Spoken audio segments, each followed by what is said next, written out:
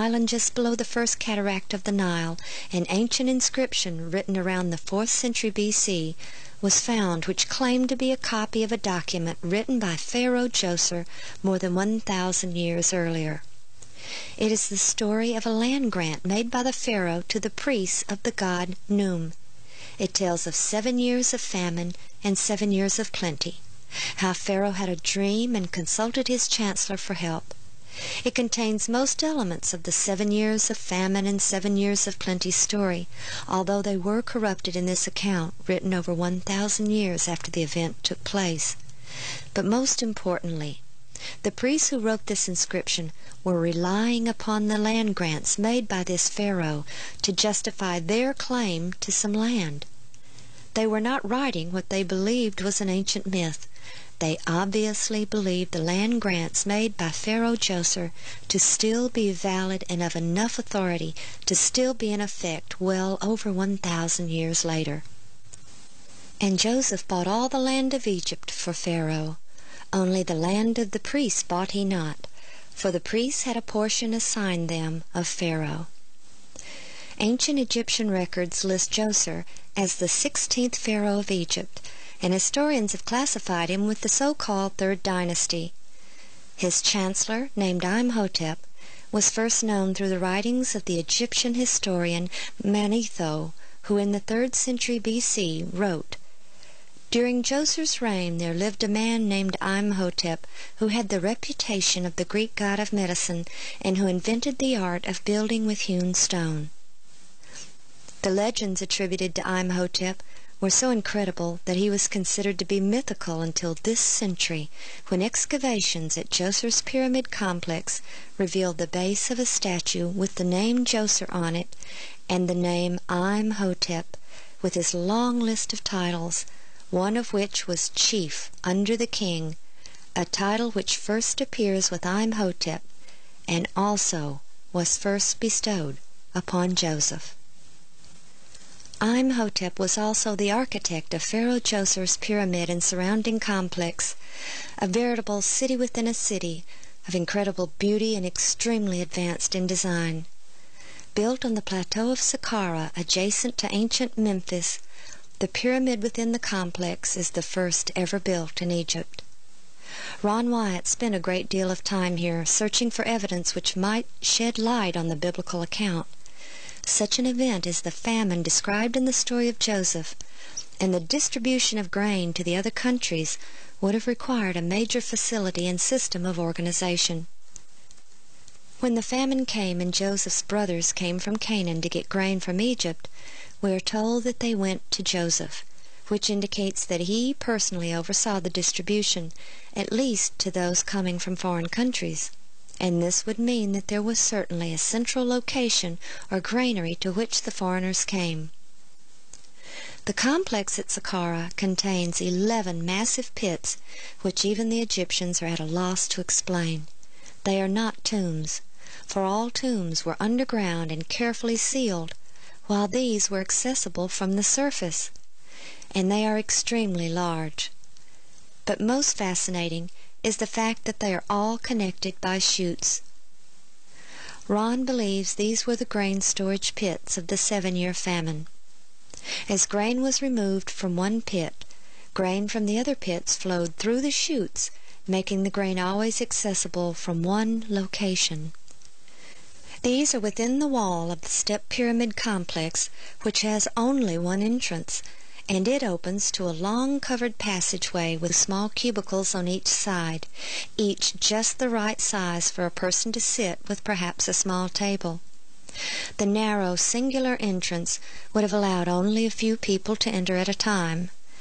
There was no doubt in Ron's mind that this was the main center of grain distribution on a massive scale.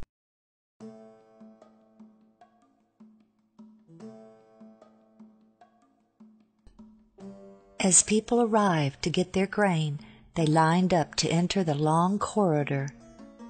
Inside, they paid one of the cashiers in one of the cubicles for the grain. After payment was made, perhaps they were given a sack for grain which reflected the amount of their payment. Then they proceeded through the corridor straight to the area of the grain bins.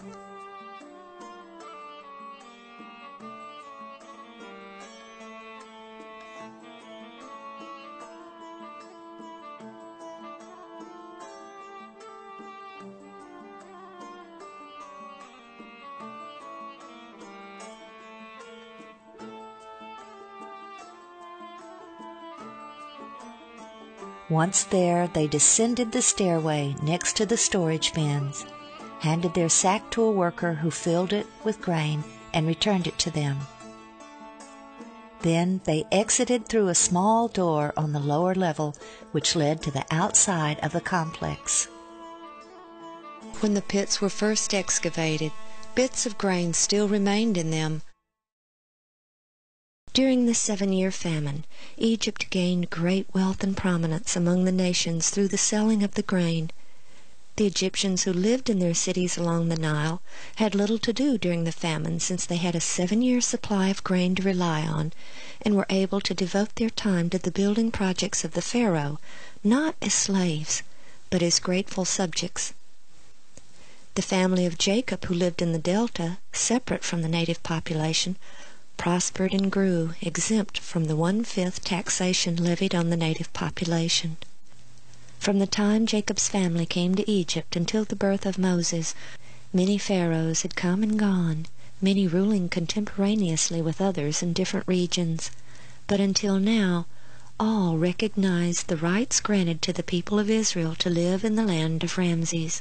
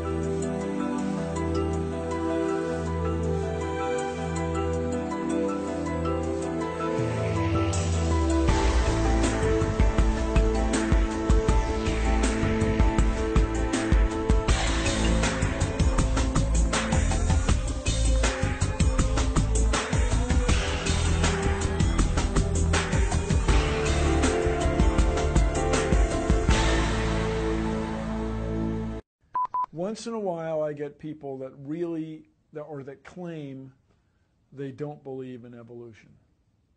And my response generally is, well, why not? Really, why not? You guys believe 20 billion years ago there was a big bang where nothing exploded and produced everything. 4.6 billion years ago the earth cooled down, made a hard rocky crust. It rained on the rocks for millions of years, turned them into soup, and the soup came alive 3 billion years ago.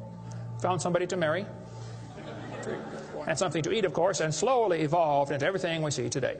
There are some lies in our science books. Taught it for 15 years.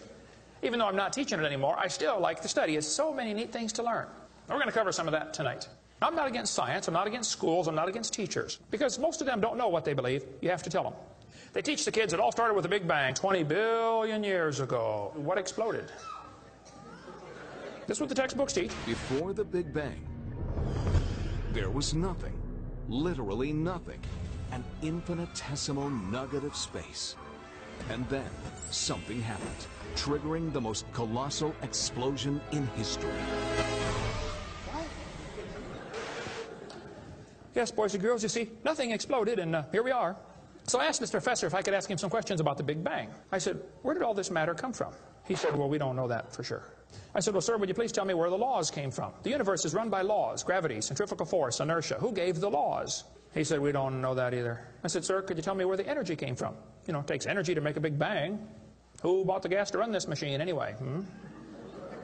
He said, We don't know that either. I said, uh, Sir, could I ask you another question? He said, Sure. What else would you like to know? what else? What do you mean, else? You haven't told me nothing yet. I said, Does Berkeley have a merry-go-round? You see, if a spinning object breaks apart in a frictionless environment, the fragments will all spin the same direction.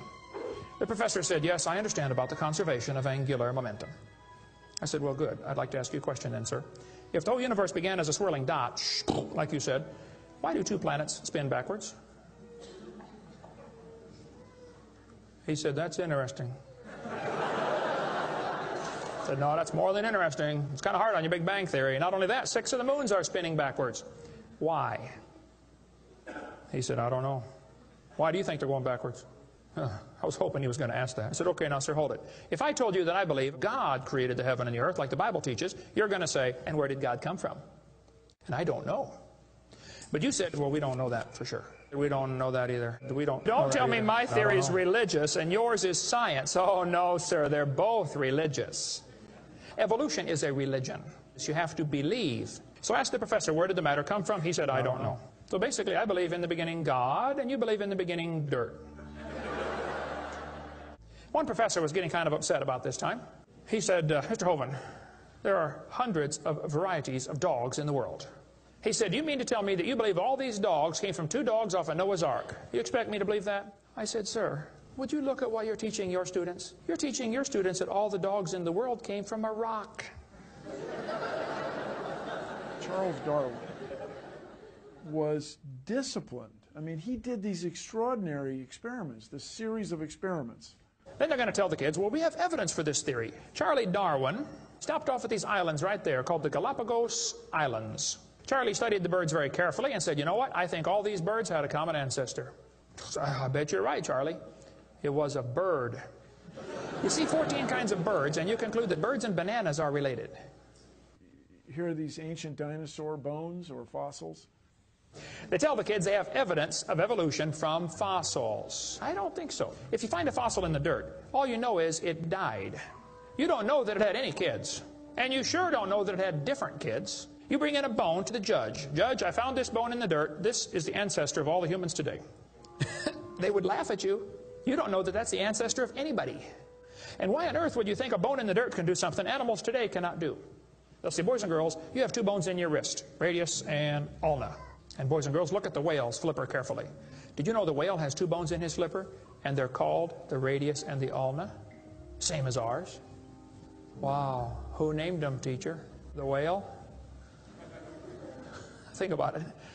I'm here to tell my people it's time to stop believing bull just because tell you bull with a straight look on their face. Evolution say people came from monkeys.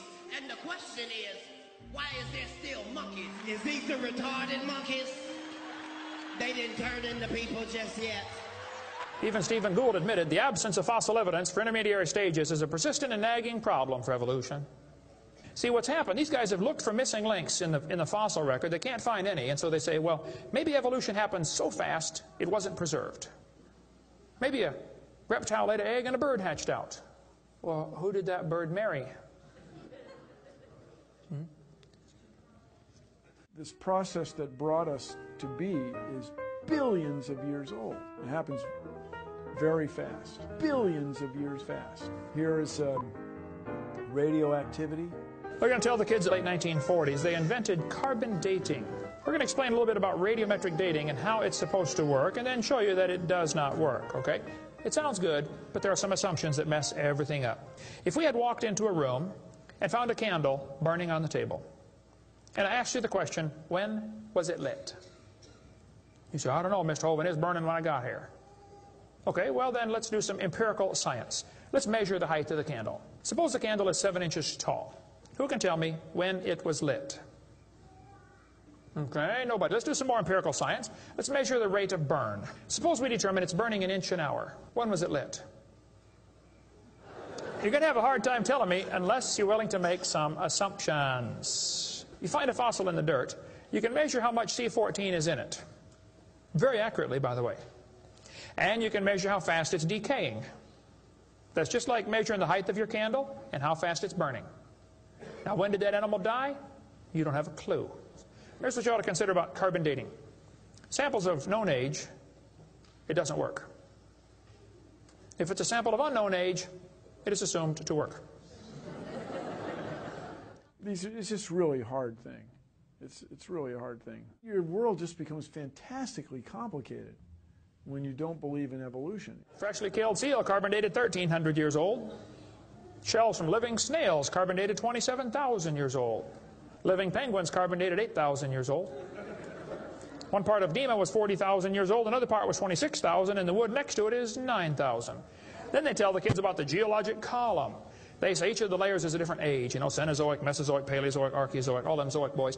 Now, if you get a petrified tree standing up, running through different rock layers, I don't think it's smart to say those layers are vastly different ages. Those trees did not get slowly covered by the sediments over millions of years. They would rot and fall down. Uh, crazy. It just. Let's say, boys and girls, you have an appendix that you don't need anymore. That's a vestigial structure. That's proof of evolution. Well, excuse me, you do need your appendix. The appendix is part of your immune system. If your appendix is taken out, you can still live, okay? But it increases your susceptibility to quite a few diseases. You could live without both your legs and both your arms and both your eyes also. That doesn't prove you don't need them. There are no vestigial organs. And even if there were, that would be the opposite of evolution. That's losing, not gaining. I was taught when I went to school, man used to have a tail, but he lost it because he didn't need it. I thought, didn't need it? Have you ever thought how handy a tail would be? have you ever come to the door with two sacks of groceries? Wouldn't that be nice, man, to be able to grab that door and walk right around and get in? lost it because we didn't need it. Man, you could drive the car and tune the radio knob and hold the Coke at the same time. What we're finding is that natural selection seems to be an incredibly important factor in generating new species.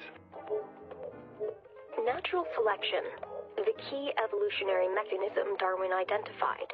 The bad designs get eaten by the good ones, and so all you have is good ones. Why is that still monkeys? Natural selection doesn't cause any evolution.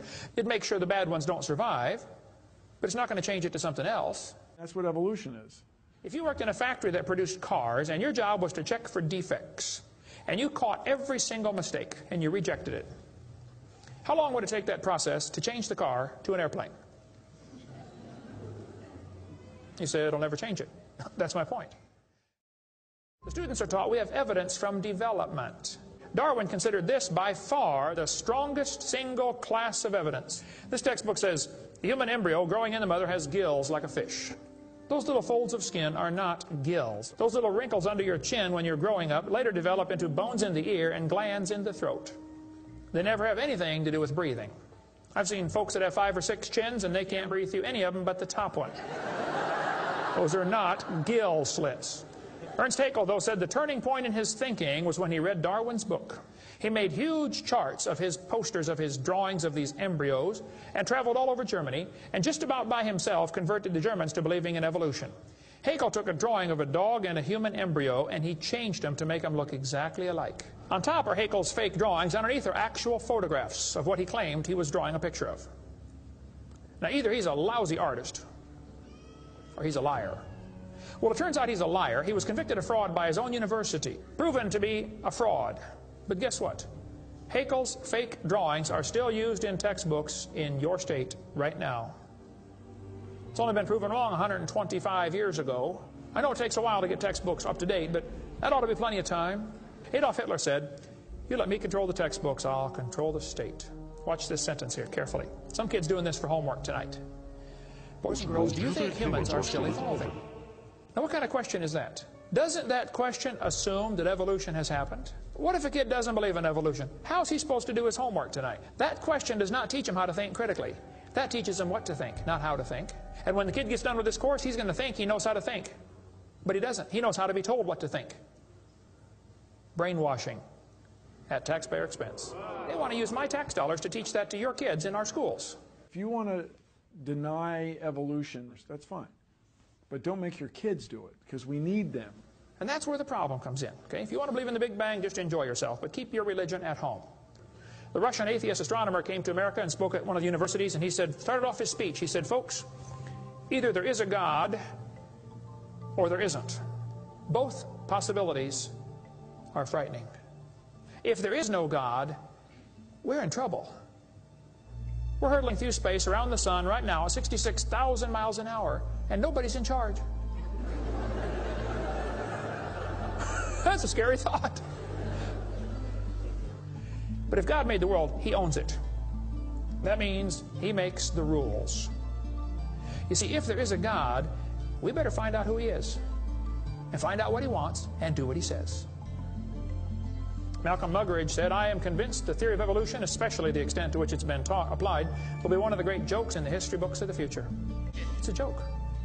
And it would be a joke if it weren't for the tragic results.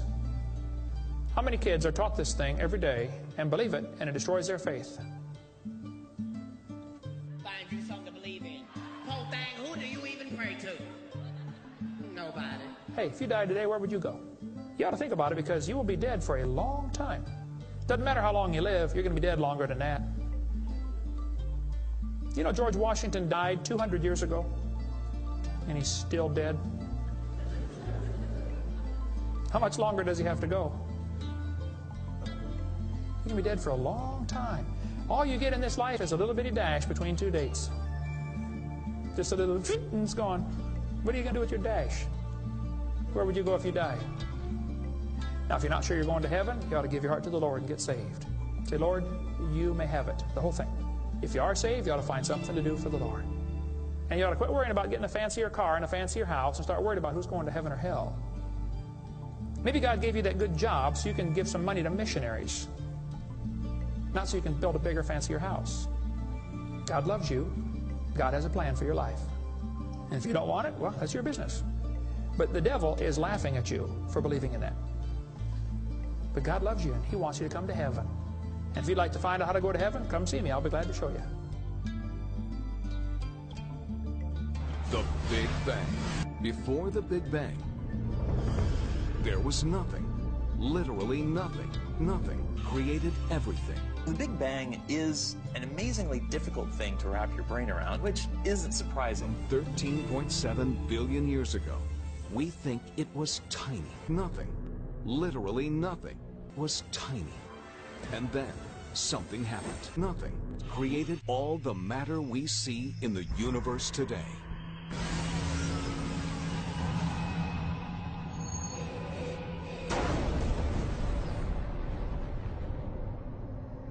Nothing is more powerful than nothing. And that's what trips most of us up. It was the explosion of Nothing. Find you something to believe in. World getting crazy. And you better believe something.